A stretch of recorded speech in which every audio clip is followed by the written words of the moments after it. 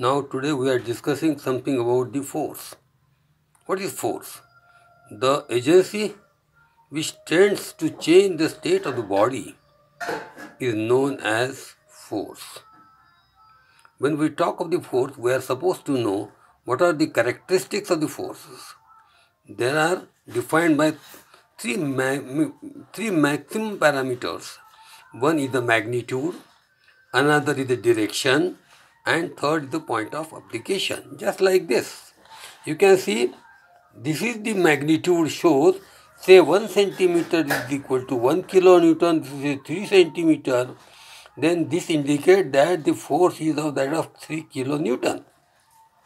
Similarly, the direction in which direction it acts and finally the point of application where it is applied.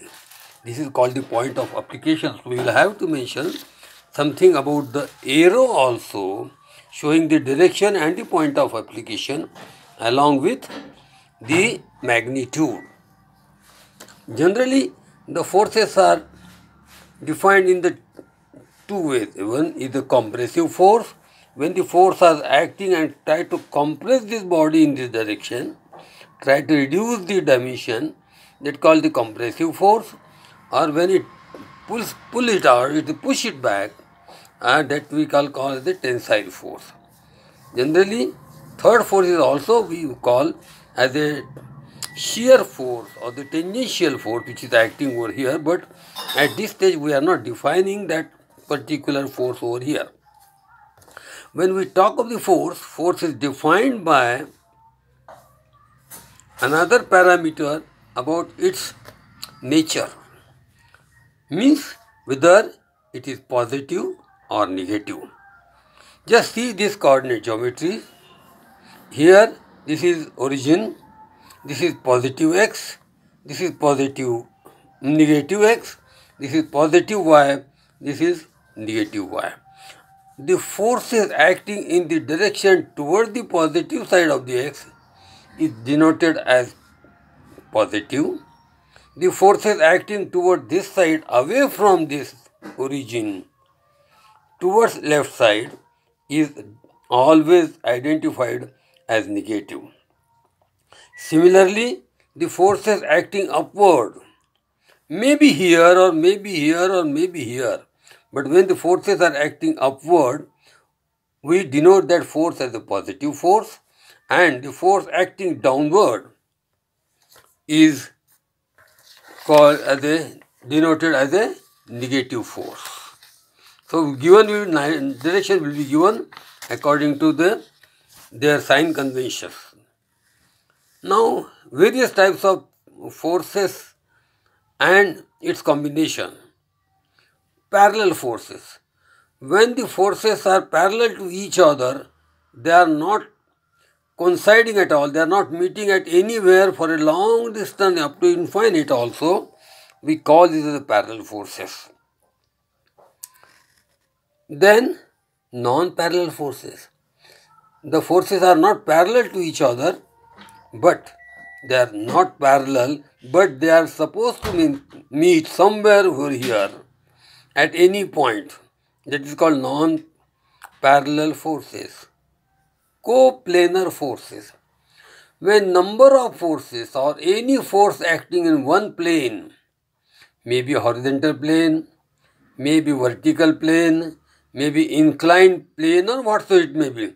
When number of forces are acting in the same plane, we call it the coplanar forces. Non-coplanar forces.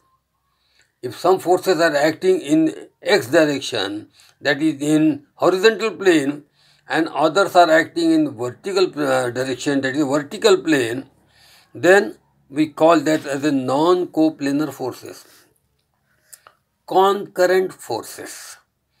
When the forces are meeting at one point, when the forces are meeting at one point, we call as the concurrent forces. Then non-current concurrent forces, when the forces are not meeting at that point, we call as non-concurrent forces. Collinear, when the forces are in the same direction of line of force, we call as the collinear and the line of action are not so same so we call as a non-collinear forces. Now another another uh, definition for this permutation and combination of this can be non-coplanar, non-collinear, so on and so forth. We can also uh, make the permutation and combination that is coplanar, concurrent, non-coplanar, non-concurrent, non-coplanar, concurrent, whatsoever it may be. Now when I am talking about the forces, that is the resultant of the force. When the two forces, say I call them P and Q are meeting at some angle theta, then the resultant of that force can be calculated because it is a vector quantity can be calculated mathematically by cosine formula that is resultant R is equal to P square plus Q square plus twice PQ cos of theta. This will give the resultant. That you must have already studied somewhere in your previous classes so far, but I am here talking something about the different method for finding out the resultant. This is all the mathematical expressions or analytical methods for calculation of the resultant. But now I am talking something about the graphical method to find out the resultant. And that method is governed by the two laws. First law we call as law of triangle of forces. Now we deal with the law of triangle of forces. What is law of triangle of forces? If two forces are simultaneously acting at meeting at point, if drawn in a cyclic order, then the closing side of a triangle will be the resultant of the forces taken in opposite direction. I will repeat it once, once again. If the two forces are meeting at point, or two forces, P and Q say, are meeting at point, if drawn in a cyclic order, drawn in a cyclic order, means if we are going in anti-clockwise direction, we will go in an anti-clockwise direction. If we will go in a clockwise direction, then we will maintain that clockwise order cycle and then we will try to find out. Then draw accordingly cyclic order and the closing side of that, the closing side of that is the resultant taken in opposite direction. Of course, I will show you some slide showing that how we are talking something about the law of triangle of forces. Just see, these are the P and Q, they are the two forces, maybe acting some any angle so far. Here I am not giving any angle so far. If they are acting at some angle theta, then how to find out the resultant by using law of triangle of forces. Now draw a line parallel to this of force P of whatever magnitude and the scale that we are going to concern. Then cyclic order, then after this we are going in this direction. So now we are taking this force right from here to here which is parallel to this and according to magnitude. Now these two forces are drawn in a cyclic order when it is joined together which is completing the triangle which is completing the triangle. So this red line which is the closing side of a triangle, which is the closing side of a triangle will be a resultant taken in opposite direction because this force is acting in this direction, this force is acting in this direction, actually third force must act in this direction but according to the law of, law of triangle of forces the resultant is nothing but the closing side of a triangle taken in opposite direction. That will directly give the resultant instead of using the cos cosine rule or something like this. Now here we are discussing something about the two forces. Now if the forces are more than two, we can call it the polygon of forces. So we are defining now the Another important uh, uh, formula or we have another uh, uh, important rule which we can call law of polygon of forces. So number of forces are more than 2. So number of forces when acting at one point again drawn in a cyclic order as per the magnitude and direction then the closing side of the polygon will give the resultant in opposite direction. Will give the opposite direction. Just like see this problem, there are P, Q, S and T, two forces, third force and the fourth forces. All the four forces are acting at this point. All the four forces are acting over here. And now, I will start from this point. Now this is parallel to this. Second, I am going in anti-clockwise direction. So then I will consider secondly this force, then thirdly this force and the fourth one. Will I will go in this direction. I will draw a parallel line considering one cyclic order. Either you can go from this direction, you can go from this direction. It makes no difference. The resultant will remain same. But I have just now, for our sake, I have taken that anti-clockwise direction. So I have drawn P parallel to P, from P to Q, then Q to S, and S to T. Then last line, closing the side of a polygon with an opposite nature is called the resultant of the forces is called the resultant of the force. This has been derived from law of triangle of forces. Yes, I am repeating. This is again derived from the same law of triangle of forces. How? Just see. First of all, I am talking about the force P and Q.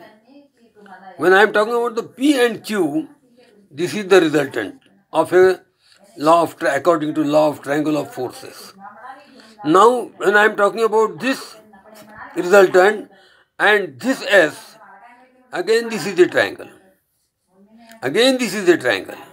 And this will give the resultant of these two forces. Which are these four forces? This force and this force. Now, when I am considering this force now again, when this is the resultant, then this, this and this again will be resultant of this over here.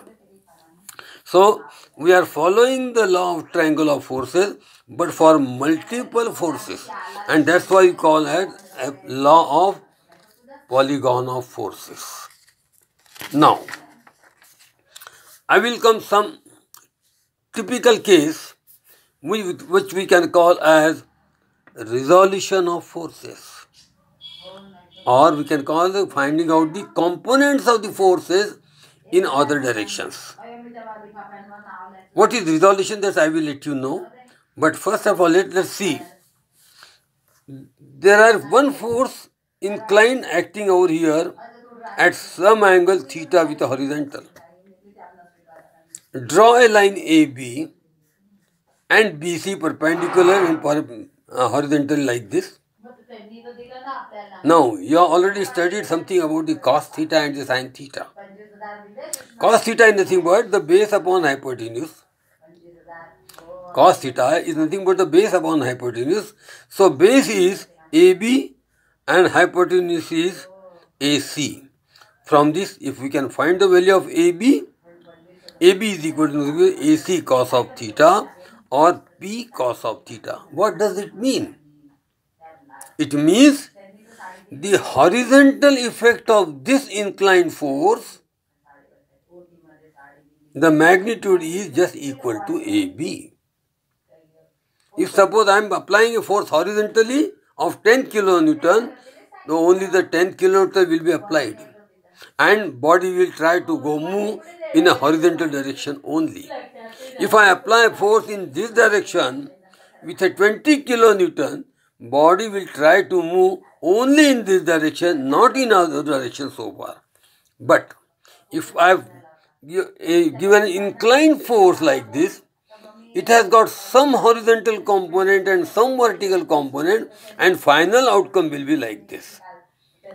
So the horizontal effect, the horizontal component shows that the horizontal effect of this incline is AB and its vertical effect is BC or which is called just like this also because this is, this is just equal so we can if we can find out this horizontal effect of this inclined force P which makes an angle of theta with horizontal line then its effect will be AB cos of AB cos of AB is equal to AC cos of theta.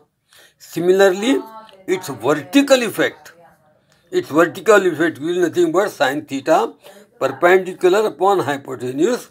So perpendicular is BC upon AC. So we can find out the vertical component that is BC, that is AC sine of theta that is b sine of theta. Also we know that AD is equal to BC. So we can call we can resolve the forces in the two directions, horizontal direction as well as the vertical direction. We call that that the resolution of forces or the component of this inclined force in the two direction along the x direction along the y direction that is horizontally as well as vertically. And this is, can be proved whether these components are really equal to the result, the, the sum of these two, vector sum of these two is really equal to the resultant or not. Just see now. Now looking toward this, we know AB square plus BC square is equal to AC square. Keeping this over here again, AC square is equal to AB square plus BC square. Substituting AC square is nothing but P square. AB square is equal to P square cos square theta and BC square is equal to P square sine square theta. Taking the P square as common, then cos square theta plus sine square theta or we can call it sine square plus sine square theta plus cos square theta equal to 1. So we can say yes, if the square of the two is added with this, each other will give the square of the resultant. So R is equal, P is equal to P. So we can say the horizontal effect we can call as the horizontal resolution. Effect of this inclined force in a horizontal direction we call as horizontal resolution. Effect of this inclined force in a vertical direction is known as resolution in vertical direction or effect of this inclined force in a vertical direction. One thing you must have noticed over here that when I am resolving this force in horizontal as well as in vertical direction, I am repeating.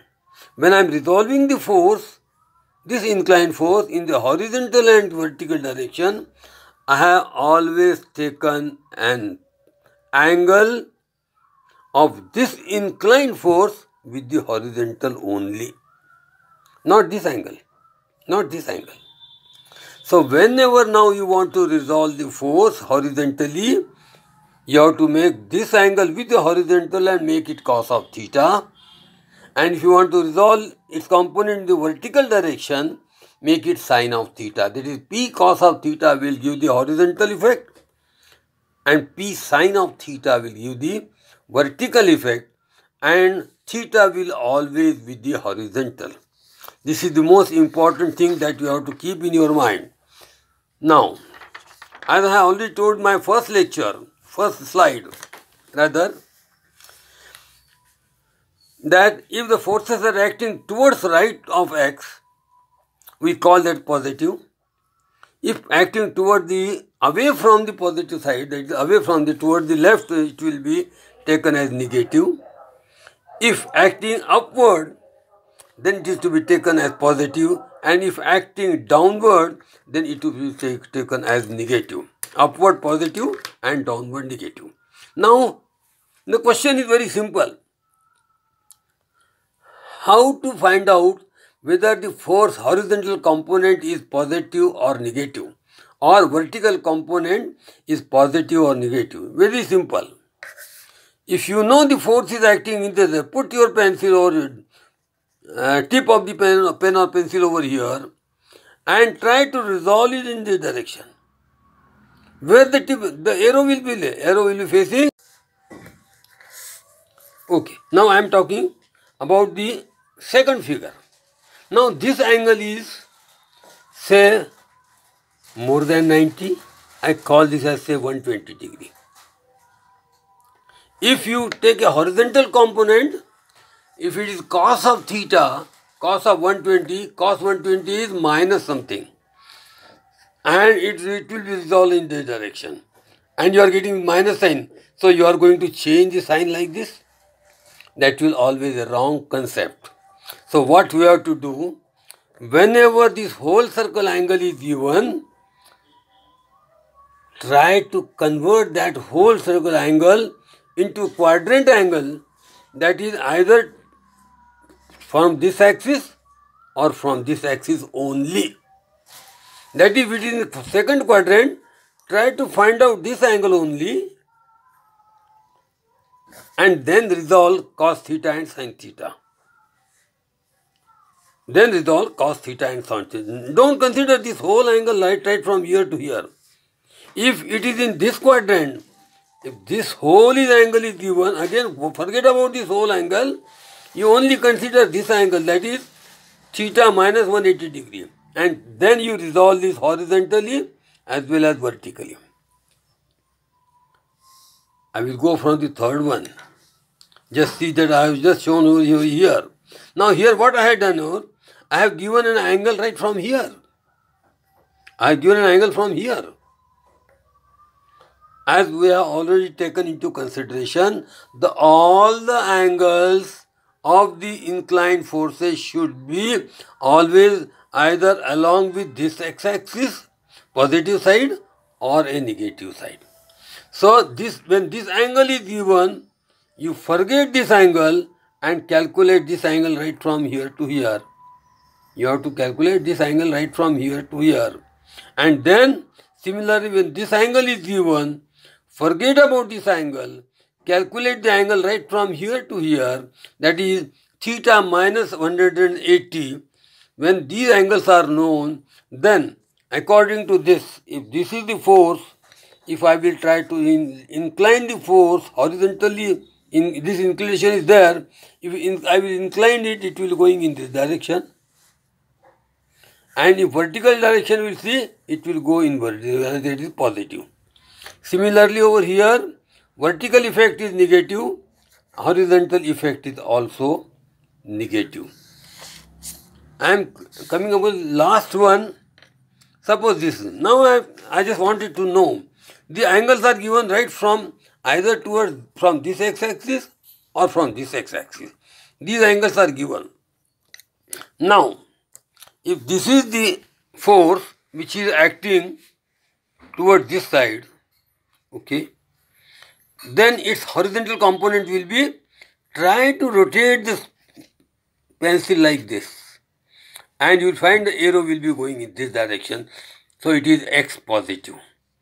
And if we find the vertical component go on the y side. And if it is acting downward take it as negative.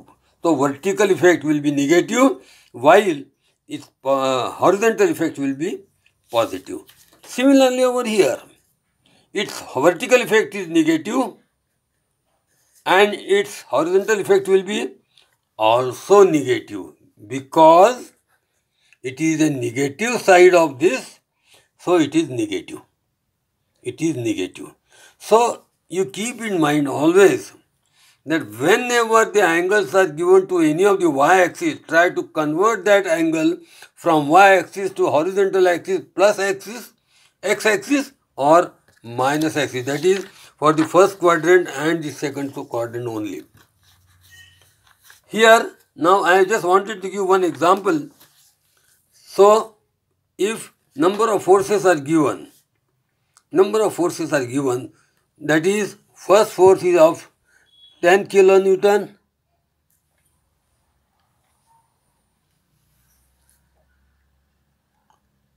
20 kilonewton. Okay, sorry, it's a 20 kilonewton.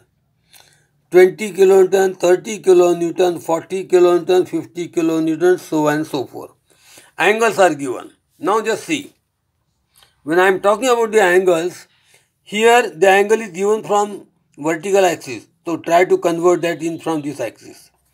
Here also the angle is given from here to here. Try to come from this axis. And once these axes are known, angle from this axis is known or from this axis is known, then try to resolve the forces horizontally and vertically, keeping the pencil towards the point uh, arrow and resolve it horizontally, resolve it vertically. Similarly, when I am talking about this vertical force, when I am talking about this vertical force, horizontal force is nothing but P cos of theta and vertical force is P sine of theta. This force makes an angle of 90 degree with each other, this horizontal axis. So its, its component in horizontal direction will be P cos of 90 degree and vertical component will be P sine of 90 degree. You know P cos of 90 degree is 0 means this vertical force doesn't have any effect in the horizontal direction, in any direction. It has got only one effect and that is only acting upward. Similarly, you resolve the force not from this angle but try to first of all convert this angle with uh, this axis only and try to resolve it see whether it is plus or minus this is or this is now about I, am talking about this one. This is horizontal effect this is vertical effect. Similarly when we talk of this the force is given like this. So its vertical horizontal effect will be acting minus side mein and this will be acting upward positive. Once you know, add all the positive that is cos theta horizontal effect and find out the final sum of all the horizontal forces. I call this as sigma h. I have added according to the sign whether it is plus or minus and I am getting final result for sigma h as minus 70.11 Similarly, vertical effect are there. Then we just calculate the vertical effect and it comes out to be 73.77 positive. So I am getting one result as positive and sigma is 17 is minus negative. So H is negative and V is positive. In which quadrant you find the resultant will act? you find that x negative means the forces are there is this all the summation of the forces are acting in this direction and y is positive so it will be acting in this direction definitely. You will find the resultant will act in this direction. Once you know the sigma h and sigma v then resultant can be calculated as sigma h square plus sigma v square is equal to sigma r square. Now r is equal to under root of this and you will find the result as resultant is 101.77. We'll try to solve this problem and then we'll continue the next part of the forces after solving one problem over here.